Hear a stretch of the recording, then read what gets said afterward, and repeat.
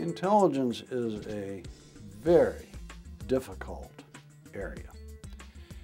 And I do not feel that even after a year of looking very specifically at our intelligence around weapons of mass destruction in various areas of the world that I could consider myself an expert on intelligence or to give you a truly trustworthy uh, measure of, of, the state of capabilities. But there are a few things I can say. Uh, one is that it is very important that the community, uh, the intelligence community, come into the modern era in terms of the diversity of who works in it. I mean, we all know that there was a period of history in which uh, uh, most of the leadership and most of the operational people and so forth in the intelligence community were fundamentally well educated, uh, blue eyed uh, Caucasian Americans. We can't understand the world and we can't operate in the world until the diversity that workforce builds up. And I think they're trying to recognize that, trying to understand it, uh, and moving forward. So, what were the kind of errors made? I'm going to point at two because I feel very strongly that I learned something uh, about them. And the first everybody hears about, which is information is not shared. And there are a whole lot of reasons, some of which were technological, the vast majority of which were simply cultural, that the CIA and the FBI didn't share information in ways that was helpful. Uh, the underlying motivation was good. You want to protect your sources. You don't want people to be damaged. But there are ways of handling these problems. So the biggest thing that had to change, I believe, was increasing the ability to, to share information across the agencies. Second thing is that I came to be a great believer uh, in my year of experience of the use of open source intelligence. And I was astounded when I read the newspapers the last two days and the uh, numerous articles uh, about the sort of change of uh, understanding of the state of Iran's uh, nuclear weapons program or lack thereof. There was a lot of reference made to the increased use of open source intelligence. That really made me feel good because I always pounded the table on this issue during the Robb-Silberman Commission. That simply means that uh, you developed a culture where if something wasn't stamped top secret or better yet compartmental and you felt that this sort of knowledge was power and that if it wasn't classified it wasn't really something to work with that's from the old days. That's gone. That's the core the most important part. But there is so much to be learned out there from just observation, reading the newspapers, looking at the blogs, all these kind of things. And we really pushed in our commission for beefing up the use of open source intelligence. Those are two things that I understand. I no longer uh, uh have that kind of contact, but I understand that there have been improvements in both of those issues. And I really would add, add a third thing. It's human nature in, in any organization, particularly one that has as daunting and, and, and compelling a task as the intelligence community that the short term always pushes out the long term.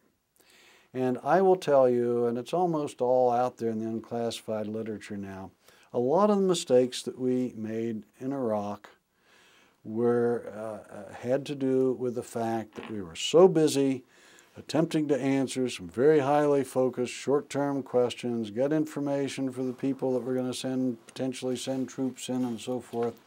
But you kind of forgot about the long scheme of things. You know, what's going on socially in the country? The fact is that the society had degenerated so badly toward the end of uh, Saddam Hussein's reign that they couldn't have mounted an effective program if they'd wanted to. And so looking at those social trends, looking at the open things, taking a historical point of view, and assigning people whose job it is in areas, uh, uh, whether it is a geographic area of the world or a topical area, to pull together teams from across the community and really look at the long-term strategic issues. I think those are the three things that really needed improvement, and my impression mostly as a newspaper reader, is that uh, some, some good progress uh, has been made. So I, I, have to tell you, it was very painful for me to be part of the writing of the report of the WMD Commission. It was very hard-nosed, and I was one of the members who pushed for really tough, straightforward language. I'd do it all over again. But it was sort of painful because I have to tell you, even though they made some horrible mistakes in that case, this is a community of really dedicated, patriotic people uh, trying to do the best possible job as, as they see it. And uh, it didn't feel very good to sort of beat up on them, and especially, by the way, when there were some other areas of their endeavor where they, their performance had, had just been, been stellar.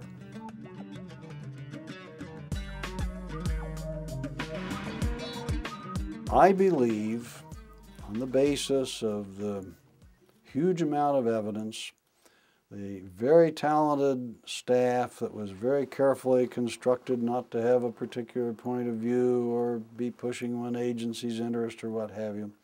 I believe that the story we were able to unwind on what happened in Iraq is accurate. And I do not believe that the administration was cooking the books or forcing answers that were not accurate. I believe that the intelligence community told them what they sincerely believed. They made a lot of mistakes. They're all well known. We understand now the aluminum tubes. We understand the role of curveball and so forth and so on. But I believe that the intelligence community gave the administration a view that they deeply believed was right. And to this day, if you go back to these people and say, you know, did you give the right answer? They will uniformly say, I gave them the best answer I could with what I knew and, and understood at, the time. Now, having said that, you've moved into some very interesting territory because one of the biggest mistakes that can be made is if uh, decision makers don't feel that they can push back and argue and dialogue with what they're hearing about. It's a really sort of difficult situation. So what I'm understanding from the newspapers about the most recent uh, national intelligence estimate on Iran is that they have learned a lot of these lessons, that they've become much more disciplined in what their, uh, what their craft is, in the way in which they use terms, uh, that they are not pressing to have uh, uh unanimous decisions uh, within the group that sits around the table. They're doing all the things that we thought were the lesson, lessons, appear to be doing the things that we thought were the lessons from what went, went wrong in, in Iraq. But I have to tell you, it, it is a tough business. We clearly did not have enough people on the ground, probably still don't. We were very lacking in uh, so-called human intelligence. We've probably overinvested invested, uh, in the most complicated uh, satellite-based systems and so forth at the expense of on-the-ground human agents and paying a lot of attention to uh, strategic issues and to open source materials. But I, I, hope we've learned, learned some lessons. But the public does have to understand it's a very complicated business. You do not find these answers easily. You're dealing with people who are doing everything they can imagine to keep you from understanding the truth.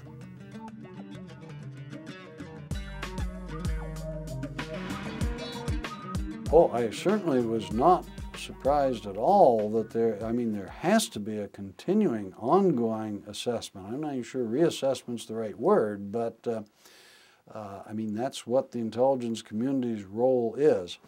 Uh, so I, I've had no classified information on Iran since the time I was on the commission. I have no idea what's actually been going on, but it sounds like they are doing their job well, and uh, I'm, I'm glad that they are. So no, I was not surprised there was a reassessment.